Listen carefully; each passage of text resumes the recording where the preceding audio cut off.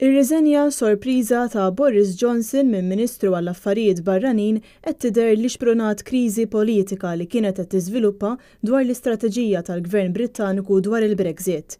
Ir-riżenja ta' Johnson kienet it-tieni waħda minn Ministru ewlieni tal-Kabinett fi spazju ta' sigħat wara li David Davis ħabbar li kien qed jwarrab minn segretarju responsabbli min-negozjati dwar il-Brexit. Iż-żewġ riżenji sadanittant qegħdin jirriflettu l-inċertezza u t-tensjoni fi ħdan il-Gvern tal-Prim Ministru Theresa May. Fil-fatt, ir-riżenja ta' Johnson kienet ikkonfermata ftit qabel diskors li Theresa May kellha tagħmel lill-Parlament u fejn hi kellha tittratta l-pjan ġdid tagħha dwar il-Brexit li qed jurta lil ħafna deputati tal-Partit Konservattiv fil-Gvern. Aktar kmieni Theresa May ħatret lil Domnic Raab bħala s-Segretarju responsabbli mill-Brexit minflok David Davis li rriżenja mill-Gvern b'sorpriża.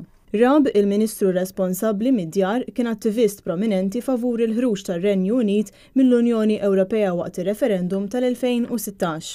Intant, Davis qabel telaq mill-kariga ta' Segretarju għall-Brexit Akkuża lil Theresa May b'li ċediet wisq affarijiet lill-Unjoni Ewropea waqt in-negozjati għall-Brexit. Minn issa 'l quddiem, Domnic Raab, li għandu 44 sena u li kien jipprattika ta' avukat qabel kien elett għall-Parlament fl-2010, se jkun qed jieħu ħsieb in-negozjati futuri mar-rappreżentant tal-Unjoni, Michel Barnier.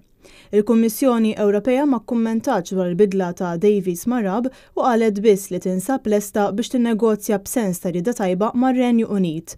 Dan filwaqt li Brussell jipprova jaċċerta ftehim dwar il-kundizzjonijiet għall-Brexit u r-relazzjonijiet futuri ma' Londra.